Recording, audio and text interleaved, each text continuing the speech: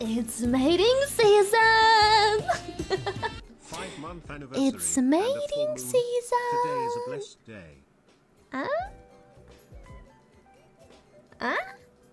Mating season? Uh-huh. Oh god. Not only does the tide rise during a full moon, but also Lily's libido.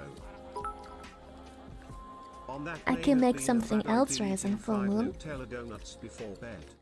They do say Vaporeon are the most compatible Pokemon to mate with Mm-hmm, humans.